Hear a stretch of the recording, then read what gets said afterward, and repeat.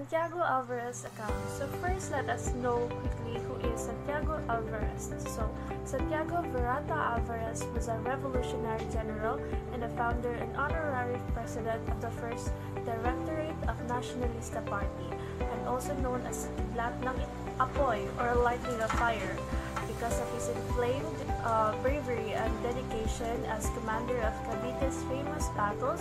He was celebrated in the present-day Cavite City as a hero of the Battle of Dalahican. So, Santiago Alvarez account, the account of Tejeros Convention is found in chapter 32 of Jan Santiago Alvarez's Memoirs. Like Ricarte, Alvarez was a direct participant and witness to the events that occurred in the election. Tejeros Convention is found in Chapter 32 of General Santiago Alvarez's Memoirs. The Tejeros Convention, also known as the Tejeros Assembly and the Tejeros Congress, was a meeting held on March 22, 1897 between Katipunan factions of Magdiwang Magdalo in San Francisco de Malabon, Cavite. That resulted in the creation of new revolutionary government that took charge of the Philippine Revolution placing the Katipunan. Jacinto Lumbreras of Magdiwang, who had served as chairman of the assembly and presided over the proceedings to that point, then refused to continue as chairman since they were to discuss replacing the Katipunan. Then Bonifacio should preside as the father of the Katipunan and the revolution. Magdalo seated at the at the head table were Messrs. Baldomero Aguinaldo, Daniel Tirona, and Cay Cayetano Topasiano.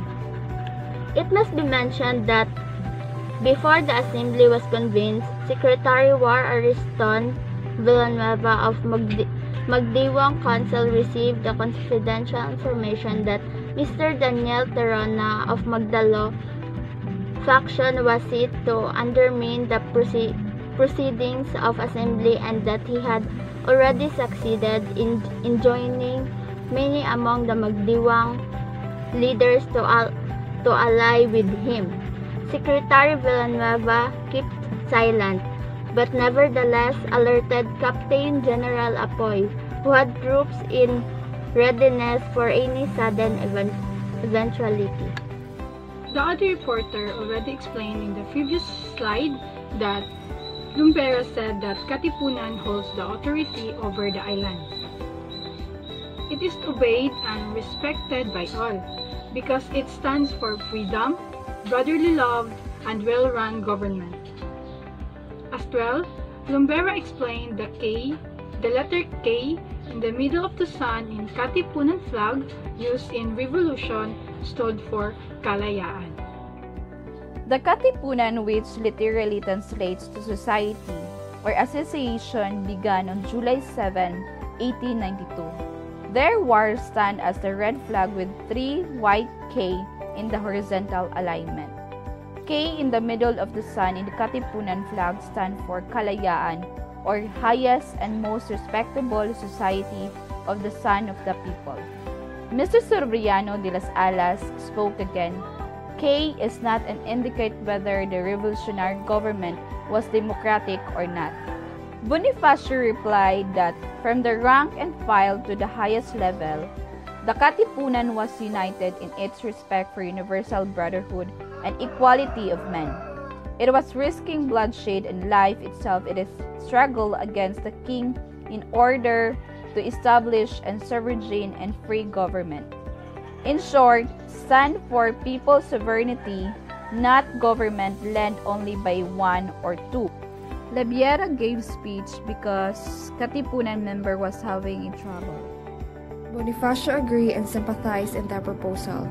Because of the glamour for the approval for the establishment, a government of the Philippine Republic, the chair was proceeded to prepare for an election for the following According to Santiago Alvarez account, they were held a meeting between Magdalo and Magdiwang to discuss about the defense of Cavite against Spanish during Philippine Revolution.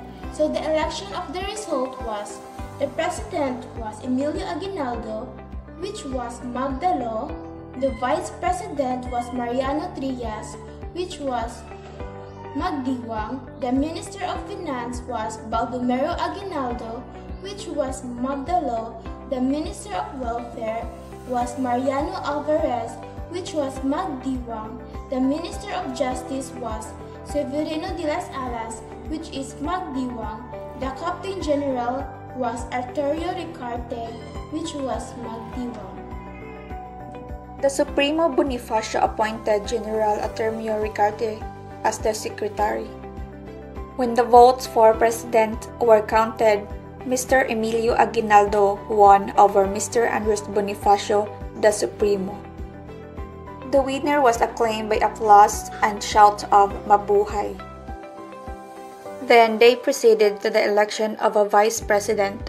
Severino de las Alas remarked that inasmuch as Andres Bonifacio had secured the second largest number of votes in the election for president, he should be proclaimed vice president. No one expressed a wish to speak in favor or against the suggestion of de las Alas. Wherefore, the chairman ordered that the election will be proceeded.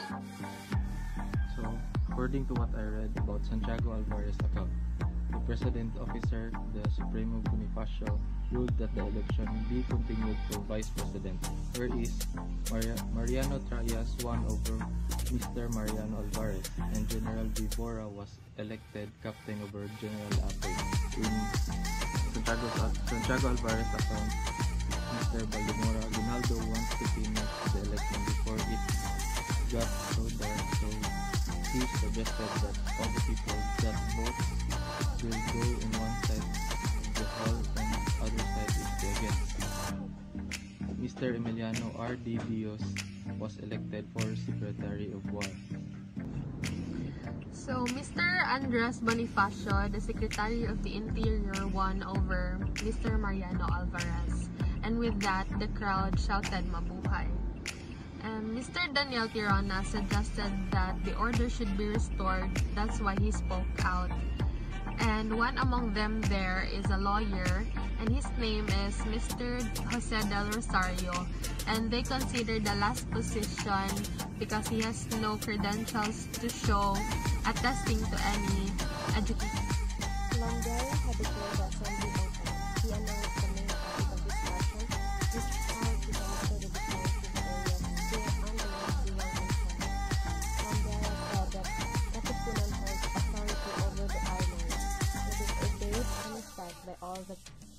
Because of it stands for freedom, freedom of the press and tolerance of religion.